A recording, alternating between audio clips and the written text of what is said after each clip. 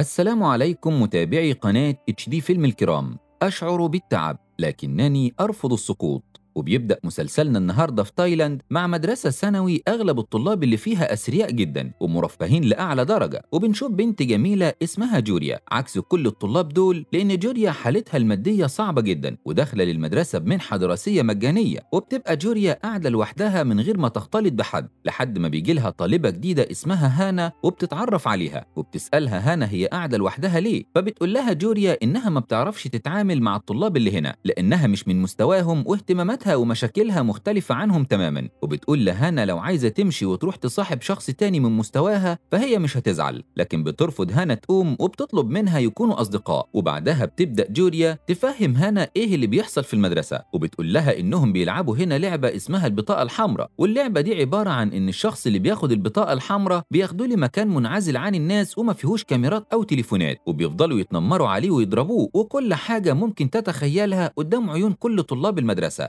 واللعبة دي بتتم تحت تنفيذ المجموعة المسيطرة على المدرسة واللي هي مجموعة الاف 4 والمجموعة دي عبارة عن أربع أشخاص من أغنى وأكثر الطلاب نفوذ. وفي الوقت ده طالب بياخد البطاقة الحمراء وبينتقل لمكان اللعبة وبيبدأوا يضربوا فيه وال F 4 بيتفرجوا وبتبقى جوريا بتشوف اللي بيحصل وهي متضايقة جدا. وبعدها بتطلع فوق السطح وبتفضل تشتم في ال F 4 وطلاب المدرسة المرضى النفسيين. لكن بيبقى في عضو من أعضاء ال F 4 فوق واللي هو يبقى رين وبيسمعها لكنه ما بيهتمش. ولما بترجع جوريا بتقعد مع أصدقائها كانج وكاجوا وبتحكي لهم عن ال F 4 فبيبحث صديقها عنهم في مواقع التواصل وبيعرف إن أول عضو فيهم اسمه تايم ابن أكبر مديرة شركة عقارات في تايلاند ووسيم جدا وفي بنات كتيرة واقعة في حبه وتاني عضو هو إم جي واللي أسرته كلها من رجال العصابات وهو طالع على شاكلة أسرته ودايما في البارات ومثير للمشاكل وتالت عضو هو كيفن وده بقى أسرته كلها من المسؤولين الحكوميين وأشخاص من مستوى راقي جدا وأغلب وقته بيقضيه سهر مع البنات وآخر واحد فيهم هو رين واللي هو الشخص الوحيد الكويس في المجموعة. ده غير إنه وريث أكبر مركز صحي في تايلاند. ورسام هادي وما بيصيرش المشاكل ولا بيشترك معاهم في مخططاتهم وألعابهم. وبالليل بتقعد جوريا مع أسرتها واللي بتتكون من أخوها وباباها ومامتها. وبرغم إنهم أسرة فقيرة لكنهم بيستمتعوا بحياتهم لأقصى درجة من غير مشاكل. وبتبقى مامة جوريا عايزة جوريا تتجوز واحد غني من المدرسة علشان ينتشلهم من الفقر اللي هم فيه. وتاني يوم في المدرسة بيقعدوا جوريا وهانا مع بعض وأول لما بتقوم هانا بتوقع أكل على جزمة تيم فبتفضل تعيط وبتعتذر له فبيقول لها إنه هيسامحها لو لعقت جزمته فبتقوم جوريا تتعصب على تيم وبتقول له إنه تعدى حدوده فبيقول لها إنها معاها حق وإنه هيسامح هانا علشانها وبيسيبهم وبيمشي وأول لما بتدخل جوريا للخزنة بتلاقي نفسها أخدت البطاقة الحمراء وبتحاول تهرب من الطلاب بس برضه بيبدأ التنمر عليها وكالعادة بتطلع فوق السطح وبتنفذ غضبها بصوت عالي لوحدها وبرضه ريم بيكون موجود هناك فبيقاطعها وبيقول لها إن المكان ده كان هادي جدا من غيرها. ولما بيجي مجموعه طلاب يدوروا عليها فوق السطح بينقذها رين وبيبعدهم. وبينصحها تفضل قاعدة هنا وما تتحركش لحد بعد المدرسة. ولما بيمشي بتلاقيه كان بيرسمها وهي بتزعق فوق السطح. وبالليل لما بتحاول تهرب بيمسكها مجموعه طلاب وبيحاولوا يتهجموا عليها. لكن رين بينقذها تاني وبيأمرهم يبعدوا عنها. وعلشان الطلاب دول بيبقوا واقفين مستنينها بره وهي مش هتقدر ترجع للبيت بيشغل جرس إنذار الحرايق. وبيخلي حارس الأمن يطارد الطلاب دول وبيخليهم يهربوا وبيقول لها إنها تقدر دلوقتي تخرج من غير ما حد يأذيها ولما بترجع للبيت بتفضل قاعدة لوحدها وقافلة على نفسها الغرفة وأسرتها لما بيلاقوها كده بيحاولوا يساعدوها لكن مامتها بتبوظ الدنيا أكتر لما بتطلب منها ترتبط بشاب غني وده بيخلي جوريا تتضايق أكتر وبتتعصب عليها وفي نفس الوقت تيم بيتعصب على مجموعة الطلاب اللي كانوا بيتنمروا على جوريا لأن حارس الأمن شافهم فبيتدخل إيميجي وبيهديه وبيقول له إنه تمادى في الأمر ده من البداية لأنهم ما ادوش البطاقة الحمراء لبنت قبل كده فبيقول له تيم إنه مش مهتم البنت أو غيره وإنها دلوقتي عدوته ولما بيدخل تيم للبيت بيقابل مامته اللي لسه راجعة من السفر وبتقول له إنها سمعت بمشاكله في المدرسة وإنه لو مش قادر يسيطر على مدرسة صغيرة زي دي مش هيقدر يسيطر على شركاتها لما يكبر والكلام ده بيخلي تيم يتضايق وبيتعصب وبينزل تيم يقود عربيته وهو متعصب ولما بيلاقي شخصين بيضايقوه بيركن على جنب وبينزل يضربهم وبيطلع عصبيته كلها عليهم وكل ده بيبقى متصور بكاميرا من غير ما تيم ياخد باله. أما جوريا فأثناء ما هي حزينة بتلاقي أسرتها جايبين لها جزمة جديدة بدل الجزمة المتقطعة اللي معاها علشان تهدى ويخففوا من حزنها لحد ما بيخلوها تضحك وبتفرح جوريا بدعم أسرتها ليها. وتاني يوم في المدرسة بتفتكر جوريا إن التنمر وقف لكن على العكس تماما. الطلاب بياخدوا جزمة جوريا الجديدة وبيفضلوا يستدرجوها وراهم لحد ما بيدوا الجزمة دي لتيم اللي بيقطع جزمتها الجديدة بعد ما أهلها صرفوا كل اللي معاهم علشان يجيبوها لها وبيرميها في الزبالة وبيقول لها إن كل حاجة لازم تتحط في مكانها الصحيح زي ما هي مش في مكانها الصحيح دلوقتي بينهم لكن ما بتهتمش جوريا بكلامه وبتروح تاخد الجزمة من الزبالة وبتلبسها وبتضربه بيها في بطنه وبتهجم عليه وبتقول له إنها مش هتستسلم وتسيب المدرسة زي ما هو عايزها تعمل وسط ذهول وصدمة كل الطلاب من اللي بيحصل وفي منهم طلاب بيصوروا اللي بيحصل وبيتم نشر الفيديو على مواقع التواصل وبيتقسم الناس لمؤيد ومعارض فمثلا فيه اللي متفق مع جوريا وإنها عملت الصح. ضد متنمر محدش بيتصدى له. وفيه اللي شايف إن تيم هو الضحية من بنت مختلة نفسيا ومجنونة. ولما بتيجي جوريا تروح للمدرسة بيتم خطفها من رجال تيم. لكن بتتفاجئ إنه مش بيأذيها. لكنه بيجمع فريق تجميل على أعلى مستوى. وعمل لها عملية تجميل وخلى شكلها جميل جدا. ولما بتخرج بيديها مفاتيح عربية. وبيقول لها كل ده كلفه 10 مليون. وفي مقابل كل اللي عمله معاها بيطلب منها تسجل فيديو اعتذار ليه. فبتقول له إنها مش هتسجل فيديوهات. ومش هتاخد منه حاجة وبتضربه وبتحاول تهرب لكنه بيمسكها وبيعرض عليها تسجل الفيديو مقابل 20 مليون. لحد ما بتقاطعهم مامة تيم وبتأمر رجالها يطردوا جوريا. ولما بتروح جوريا المدرسة بتلاقي إشاعات سيئة جدا طالعة عليها وعلى أسرتها وسمعتها. فبتتعصب وبتطلع فوق السطح تزعق لوحدها تاني وبيبقى ريم فوق وبيروح يقف معاها. وبتشكره على كل المساعدة اللي قدمها لها وبيبقى واضح إن جوريا مبهورة برين وإنه مختلف عن الباقي تماما. وبعدها بتيجي هانا تقابل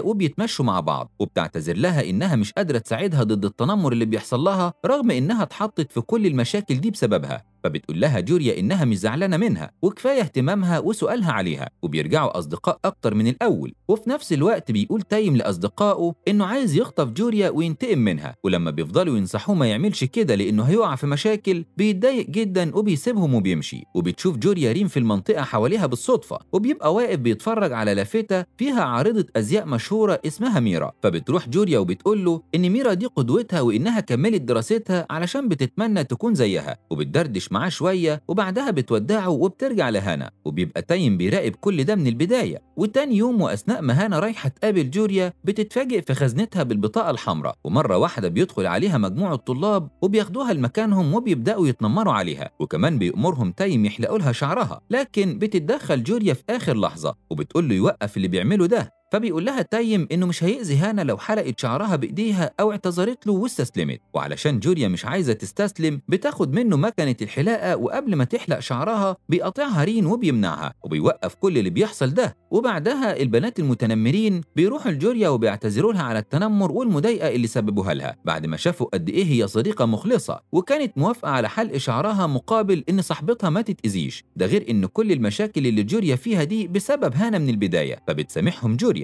وبعدها بيعزموها البنات على حفل ترحيب بعارضة الأزياء ميرا وبيقولوا لها إنها حفلة بسيطة وممكن تلبس هدوم عادية ولما بترجع جوريا للبيت بتتصل بكانجي وبتطلب منها تيجي معاها للحفلة لأن هانا مش هتقدر تيجي معاها وبتكون أسرة جوريا بيتجسسوا عليها وبيسمعوا إنها رايحة حفلة فبيفضلوا يجهزوها وفي الوقت ده بيكون ريم مستني ميرا في المطار وأول لما بيشوفها بيجري عليها وبيحضنها وهو فرحان جدا. وبرضه ميرا لما بتشوفه بتبقى فرحانة أكتر منه. وتاني يوم في الحفلة بتتفاجئ جوريا وصديقتها إن الحفلة رسمية وكل البنات اللي فيها لابسين فساتين وإن المتنمرين كانوا بيضحكوا عليها علشان يحرجوها. وبتروح جوريا تقعد لوحدها وهي محروجة وبرضه بيروحوا وراها وبيقولوا لها إنهم عارفين إنها بتحب رين لكن الأفضل إنها تبعد عنه لأن رين بيحب ميرا ومرتبط بيها وبيرموا الأكل في وشها وبيهنوها. فبيتدخل رين وبيديلها منديله الخاص تمسح هدومها. أما ميرا فبترمي عليهم مشروبها وبتوقعهم في حمام السباحة قدام كل الحضور وبعدها ميرا بتاخد جوريا لغرفتها وبتخليها تغير هدومها وبتفضل تتكلم معاها وبتقول لها إن رين حكى لها عنها كتير وإنه ممكن يبقى معجب بيها فبتستغرب جوريا وبتسألها هو أنتوا مش مرتبطين؟ فبتقول لها ميرا إنهم أصدقاء من أيام الطفولة مش أكتر وبتقول لها ميرا إنها شافت فيديو ضربها لتيم وإنها أشجع بنت شافتها في حياتها وبتبدأ ميرا تجهز لجوريا لبس تلبسه وبعدها كل اللي في الحفلة بينبهروا بجوريا وهي نازلة وشكلها جميل جدا. وبيروح لها رين وبيبدأ يتغزل فيها وفي جمالها وبيعرض عليها يرقص معاها لكن بيقاطعهم تيم وبيبعدهم عن بعض وبيزعق لرين وبيقول له إن البنت دي معاقبة بكارت أحمر وما ينفعش يفضل يساعدها بالشكل ده ولما بتحاول ميرا تهدي تيم بيزقها فبيضربه رين علشان عمل كده وبيبدأوا الاتنين يضربوا في بعض لحد ما بتتدخل جوريا وبتقرب من تيم بالغلط فبتبعد عنه بسرعة وبيتحرك تيم قدام كل الحضور وبيطلع يجري وبعد كده بيعتقد تيم إن جوريا كانت قاصدة تتقرب منه وإنها بتحبه علشان كده بتعمل معاه مشاكل وبتبقى جوريا واقفة مع صديقتها كانج وبتقول لها إنها حاسة بالذنب لأن أول مرة من سنين ال F 4 بيحصل بينهم مشكلة ورين بينفصل عنهم.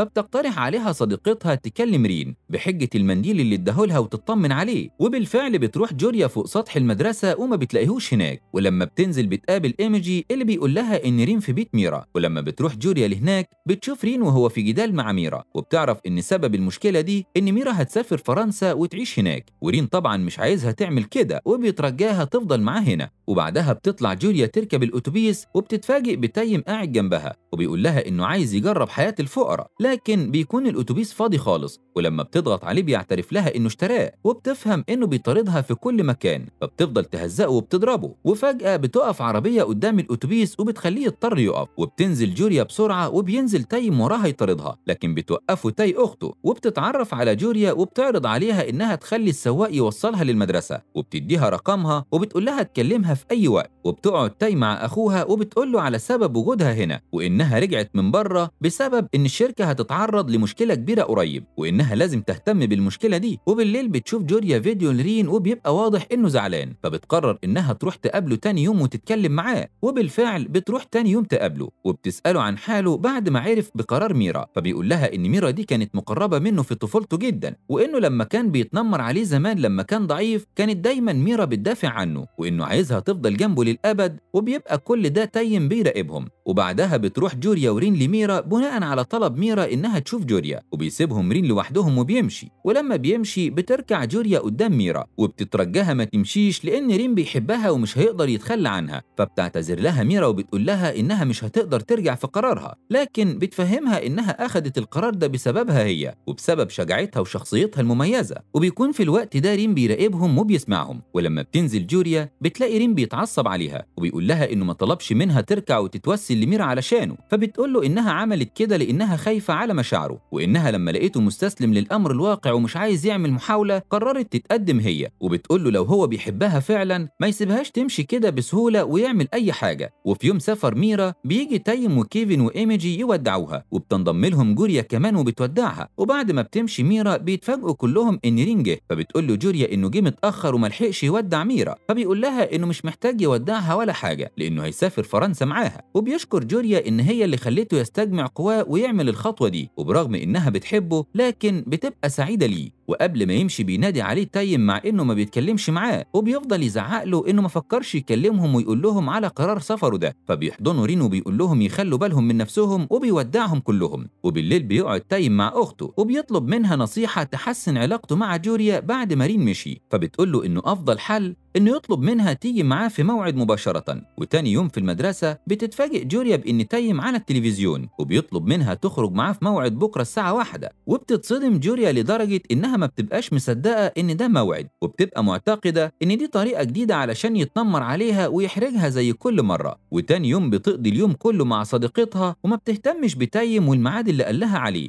ولما بتيجي الساعة 3 بتروح جوريا للمكان علشان تتأكد إذا كانت شكوكها صح ولا غلط. بس لما بتروح بتتفاجئ إنه موجود هناك بالفعل وطول الوقت مستنيها وده بيثبت لجوريا إنه فعلا بيحبها.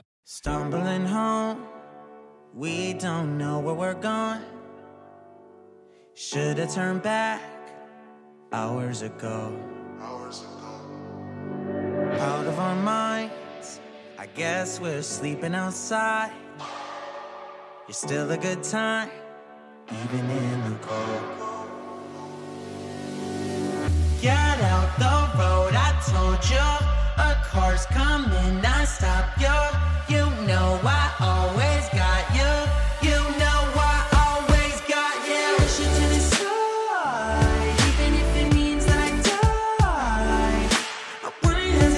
about it, wouldn't even think about it. Sign I'm any of ya.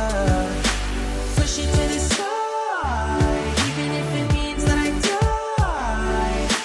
Wouldn't hesitate about it, wouldn't even think about it. Sign I'm any of ya. وبكده بينتهي الجزء الأول من مسلسلنا النهاردة ما تنساش لو مش مشترك في القناة يلا اشترك دلوقتي وفعل الجرس علشان توصلك كل ملخصات اتش دي فيلم